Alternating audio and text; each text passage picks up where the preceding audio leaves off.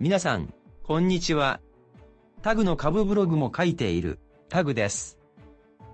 2021年1月からタグの株ブログとして資産形成に特化したウェブサイトを立ち上げました。概要欄から飛べますので、ぜひご覧ください。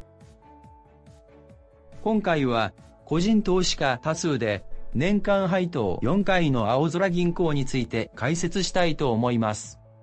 四半期ごとの配当金に興味のある人、銀行業について知りたい人、青空銀行について知りたい人は、最後までご覧ください。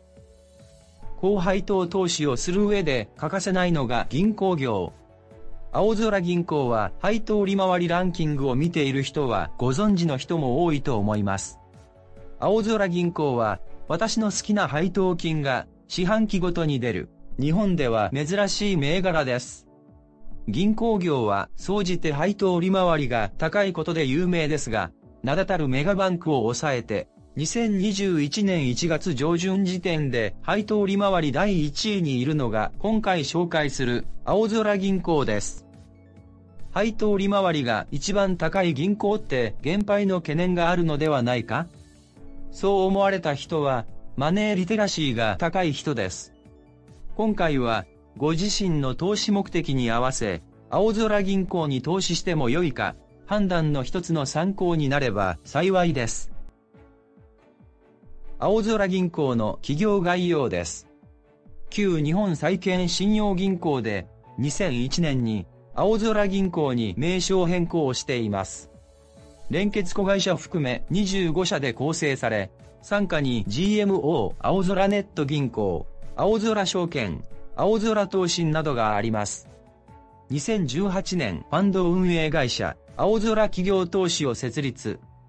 2020年にベトナムの中堅商業銀行と資本業務提携しています。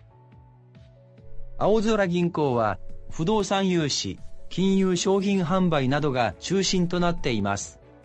また、株主構成比率で約半分の49%は個人投資家となっています。個人株主数に関しても毎年増え続けています。青空銀行の業績についてです。これは四半期の売上高のグラフです。当期の2級は2017年のレベルまで売上高が減少してしまいました。前期は通期で良い業績を残していただけに、当期の2級の売上高はマイナス20%と大きく減少してしまいました。売上高はマイナス20%でしたが、最終益はマイナス8.2%で抑えられたというところでしょうか。これは通期の業績推移です。2013年から2016年をそこに、毎年売上高を伸ばしてきていました。当期の売上高の予測は2020年の5月から非開示のままです。売上高は非開示ですが、経常益は400億円を予測しています。最終益に関しては昨年より1.3%増加させるという発表を変更していません。新型コロナウイルスに関連する会計上の見積もりとして、一部の債務者、借金している人について業績の影響が2022年度まで継続する可能性を見越して、貸し倒れ引き当て金、返済されないかもしれないというお金を算定しています。2021年に入り、状況が悪化していると思われ、今後の青空銀行の決算にどう反映されるか注目です。青空銀行の株価と配当についてです。2021年1月8日終値での月足チャートです。リーマンショック時は660円まで下落しています。その後の最高値は2015年5月の4900円です。コロナショック時の最安値は2020年7月31日の1687円です。緑で引いたラインが過去のレジスタンスラインやサポートラインになるかと思います。市況により最悪の可能性としては1500円前後まで再度下落する可能性と1500円のサポートラインを割れば1000円も視野に入ってしまいます。2020年1月を0%として、騰落率について、銀行株の配当利回りだけで見たトップ3を日経平均株価と比較してみます。赤は、青空銀行で、配当利回り6.16%。青は、東和銀行で、配当利回り6.02%。緑は、ゆうちょ銀行で、配当利回り5.66%。黒は、日経平均株価です。日経平均株価は2020年11月頃に0%まで戻し、2021年に入っても好調が続いて、約30年ぶりに2万8000円台を回復したことがニュースで大きく報道されました。日経平均株価は絶好調です。一方、高配当銀行株3社を見ると、青空銀行が一番戻りが悪く、約マイナス32%くらいです。東和銀行は約マイナス25%です。東和銀行は群馬県、埼玉県を中心に展開する地方銀行です。筑波銀行や栃木銀行とも提携しています。東和銀行は一件、業績はやばいように感じますが、20年5月に発表したこの業績予測はかなり保守的です。現に2級の業績を見てみると、経常益は前年比プラス48.3%。最終益は前年比3.2倍となっています。第2四半期の累計で見ると、売上高は前年比マイナス5.3%で踏ん張っていますが、経常益は前年比プラス9.6%、最終益は前年比プラス41.3%となっています。元々の目標が低かった保険をかけた分、2級を終わった時点で、1年間の予算に対する進捗率が93.1%となっています。11月の2級の決算時に情報修正をしていないので、元々の目標に対して残りの金額を差し引くと、このようになり、めちゃくちゃやばそうな下期予測になります。下期はこんな決算にならないと思いますが、次の2月の決算で情報修正を待ちましょう。ということで、東和銀行は地方銀行でありながら、業績は底堅そうな感じがします。ゆうちょ銀行は説明する必要もないと思いますが、日本最大の預金金融機関です。第2四半期累計では、売上高、経常益、最終益ともにマイナス10%前後。当初想定していた進捗から遅れています。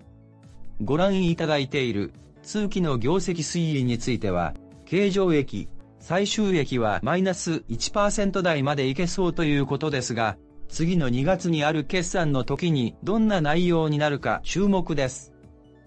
ということで、配当利回り上位のみを見てみましたが、銀行業自体、成長性は少ないですが、業績を安定させ、配当を出すという能力に関してはまだ問題なさそうな感じがしました。青空銀行の配当金、利回りについてです。ご覧のように、配当金額は業績によって上下しています。当期は年間で34円の減配の1株当たり122円になる予測です。年4回の配当金についてです。第1、第2四半期は30円ずつの実績があり、当期の年間での配当は122円としています。つまり、第3四半期と期末配当で残りの62円を分割していくものと思われます。配当利回りについてです。当期は34円の減配もありながら株価も下がっているので、配当利回りは6%を超えています。配当成功は50%を方針としています。当期は不透明な経済環境を考慮して年間配当122円を決定しています。当期の一株益予測は244.2円なので、年間配当122円となると、配当成功は50%となります。青空銀行の財務についてです。自己資本比率は8.6%。自己資本は約4774億円。剰余金は約2766億円。有利子負債倍率はありません。自己資本比率は、銀行業は顧客から預かったお金、貯金を融資に回したりして金利で稼いでいるので、自己資本比率は低めです。利益剰余金は積み上がっていますので、大きな問題はないと考えています。まとめです。青空銀行は、不動産融資、金融商品販売が中心の銀行で、毎年の業績が上昇傾向の最中のコロナショックでした。四半期ごとに配当があり、配当成功50%を掲げており、それを超えるようなら減配も実施しています。青空銀行の開設をしました。私自身、青空銀行は2020年の年末に購入しました。